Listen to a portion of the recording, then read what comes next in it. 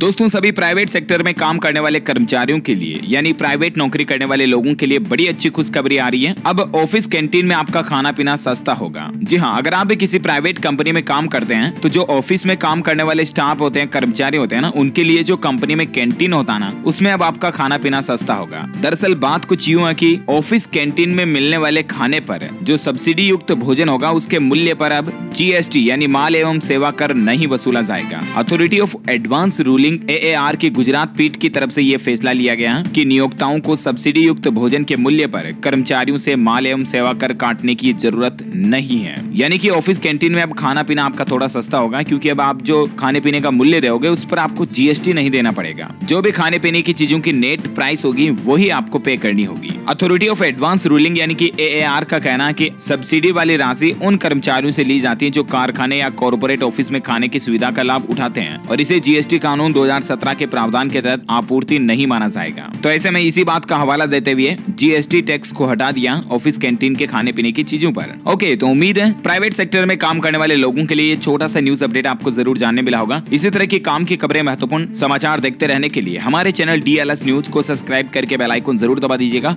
video को like और share भी जरूर करना वैसे दोस्तों आप किस सेक्टर में प्राइवेट फील्ड में किस क्षेत्र में काम करते हैं मुझे नीचे कमेंट करके बताइएगा thank you take care good bye जय हिंद जय भारत वंदे मातरम